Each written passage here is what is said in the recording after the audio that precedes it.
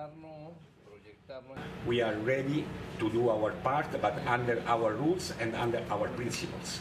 En relación con la pregunta que usted hace,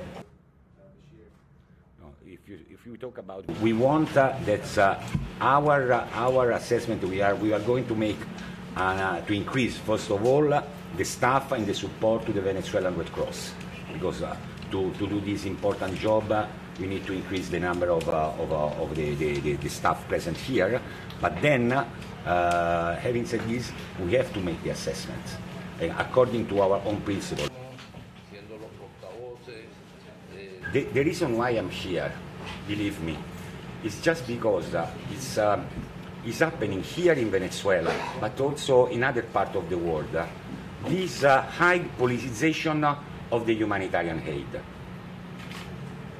el- la razón, y él quiere decir que por favor le crean que la, eh, la razón del por qué está aquí en Venezuela es porque ha pasado también en otros países, es la politización que se le hace al- a la asistencia humanitaria o ayuda humanitaria.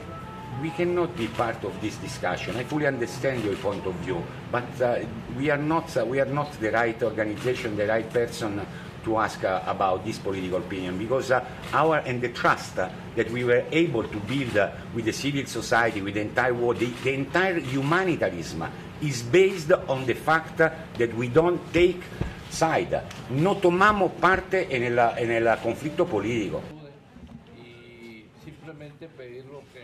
If you are requested, we are ready. If you are allowed, we are ready.